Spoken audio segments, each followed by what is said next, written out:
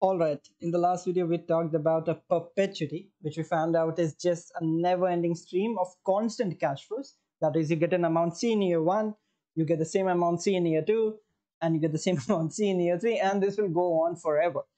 Now, growing perpetuity is, well, of course, a perpetuity, meaning you get never ending cash flows every period.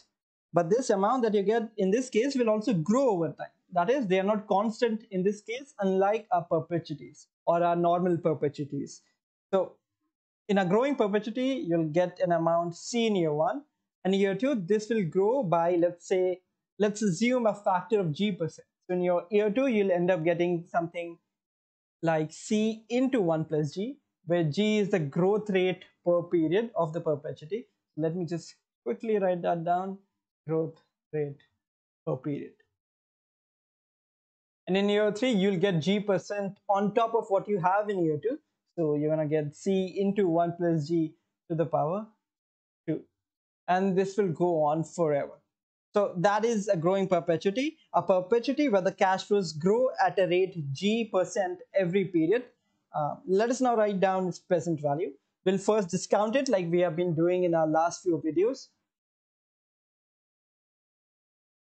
For year 1, we are going to get C divided by 1 plus R, which is the discount rate. Raised to the power number of periods, R for year 1 is just 1. For year 2, we are going to get C into 1 plus G this time, divided by 1 plus R squared. Similarly, for year 3, we'll have C into 1 plus G whole squared divided by 1 plus R cubed. Yes, and this will keep going on. Now if you can notice that C is common in all of these terms, so we can just take that out. So within brackets, we'll have 1 plus R plus 1 plus G, 1 plus R squared plus 1 plus G whole squared divided by 1 plus R to the power 3 and this will go on Now this geometric progression within brackets simplifies to 1 by r minus g. So the present value becomes c into 1 by r minus g. I'm leaving the derivation out in this video because I don't want to make it more mathy than it already is. Again, I'll make a separate video about deriving this in case you don't want to accept this answer just like that let's write that down separately. The present value for growing perpetuity is capital C divided by R minus G, where R is the discount rate and G is the growth rate per period. There are a couple of things you need to keep in mind about this formula. Number one, the C is the cash flow that you're getting after one period, not in day zero. Always keep that in mind. If you're getting a cash flow in period zero, don't use that, don't mix it up with this formula. Let me just write it down.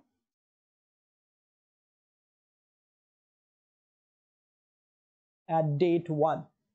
And number two, the discount rate R always has to be greater than G. Note that in this formula, if both of them are equal, then your denominator will be zero and this value will be undefined, which obviously doesn't make sense. And it seems like if G is actually greater than R, then the present value will be negative, which is obviously impossible. So all you need to know is that the technique that we are using to sum up this geometric series requires R to be greater than G. Otherwise, we cannot use this present value formula at all. In summary, a growing perpetuity is just like any other perpetuity, but it grows over time. And this is the formula you can use to calculate its present value. Hope you got it on that. See you in the next one.